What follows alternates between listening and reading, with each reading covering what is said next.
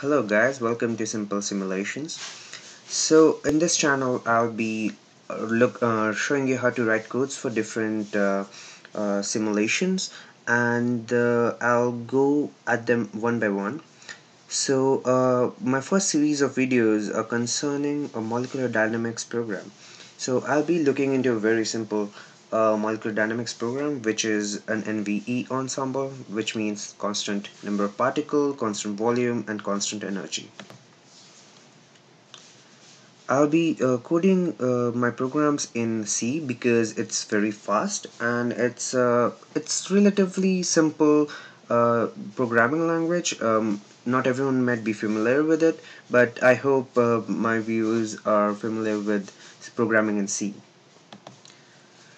so what I'll do in every video is uh, take a particular part of the simulation which is basically a function which will be in my code and I would explain the theory behind it and then uh, go through uh, writing the code. So our first part would be periodic boundary conditions and nearest image. To understand this uh, let's look at a 2D uh, uh, system and look at what the periodic boundaries of 2D uh, system are to have a better idea and then we'll reflect upon uh, its implications in 3D. Let's look at this uh, simple 2D system uh, with a green particle and a red particle.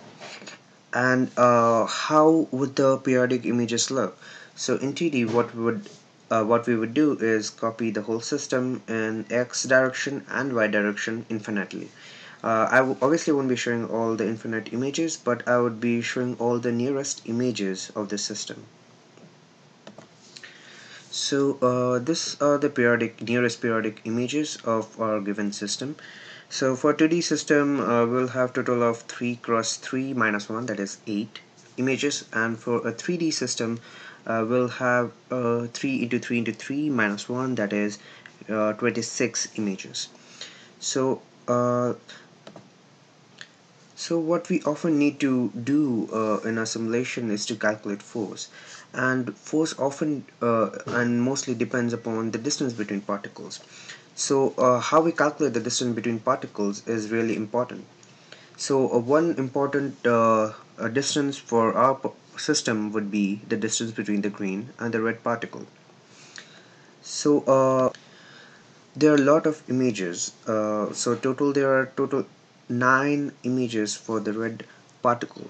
So and the distance of each image uh, from the green particle varies. And what we want to look in our simulation is the nearest image we want to find the force between only the nearest image because uh, LJ potentials die down uh, quickly and the potential for a system which we would be using in our code will be an LJ potential. So we would try to neglect the uh, interparticle distance which are too large. So we always calculate the nearest image uh, distance with the nearest image so visually if we uh, look at the uh, nearest images we find four possible cases uh, which are uh, shown here. And if we look closely enough we'll find the closest uh, image is actually the one at the left hand corner bottom corner. For finding distance we would all, uh, always find the change in x coordinate changes y coordinate and z coordinate and then find the square sum it and take a root to find the distance. So uh, let's look into the change uh, the difference between the x position of the red particle and the green particle. So if we look into uh, the original system which is at the center uh, the difference in the positions is given by xj minus xi the difference of the x position uh, with the red particle here at the left and at the bottom uh, left corner is both xj minus xi minus l. While the distance um, difference in position of the image at the bot uh, bottom is uh, constant with xj minus xi so is the one at the top. We can then notice a pattern here which is if I move in X direction this image uh, all the images in uh, this column is xj minus xi. All the images in this column is xj minus xi minus xl and all the images in this column is xj minus xi plus l. And so goes for the y directions and the z directions in 3d so let us write down a function in C for finding uh, the minimum distance and we'd also uh, be writing a function to find the minimum difference in x or y or z coordinate which would come in handy in defining our force in LJ potential. For programming I'm using dev C++ version 5.2.0.3 and uh, uh, let's begin. We begin the code by adding the C preprocessors using include uh, which is stdio.h and stdlib.h so uh, we'll uh, name our first function as uh, let's say min distance but this is basically uh, the distance difference in distance in one coordinates x and y x or y or z. So it will only take two coordinates uh, say x1 and double x2 so this can be uh, y as well. I'm just naming it x because I feel it kind of familiar with it. So basically now the distance between two images can either uh, be at max L within the same box. So its image would uh, surely be less than L. So the condition which we require is that the difference between the coordinates is more than L by 2 or less by L by 2 so it we basically have if x1 minus x2 is greater than length by 2.0 then we'll have to return x1 minus x2 minus length and if we have x1 minus x2 uh, less than minus length by 2.0 then we have to return x1 minus x2 plus length.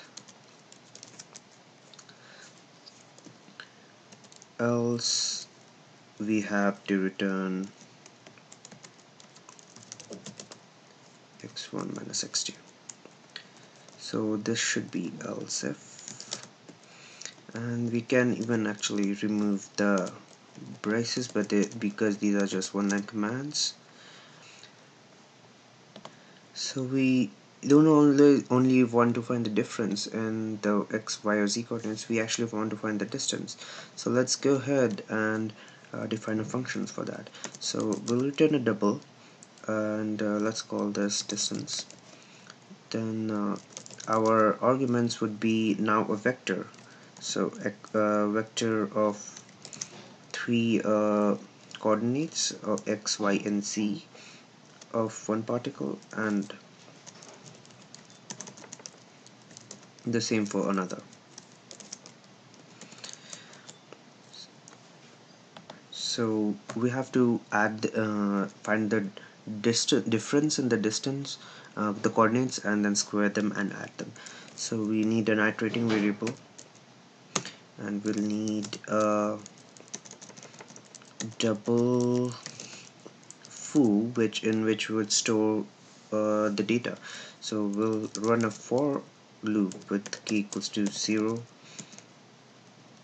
to k less than 3 or let's say dimension and k plus plus. So my dimension uh, can be 3 can be 2 so I'll be summing up the square of distances in each dimension. So I'll store the difference uh, in x y or z in foo which is which I'll get by calling the function min dist. And I would just uh, uh, pass the following arguments. X1 of k so uh, and x2 of k. So what this would do is uh, pass x coordinate first then y and then z. So in each cases I will be storing the difference which is the uh, different uh, between the xyz coordinates with the uh, nearest image and then I would have to add the uh, variable distance dist. Uh, so I would initialize distance as 0 dist as 0 and then I would update uh, accordingly uh, in each of the k values. So I'll basically for each k values I will update the distance as multiplying foo with foo so and at the end I'll just return dist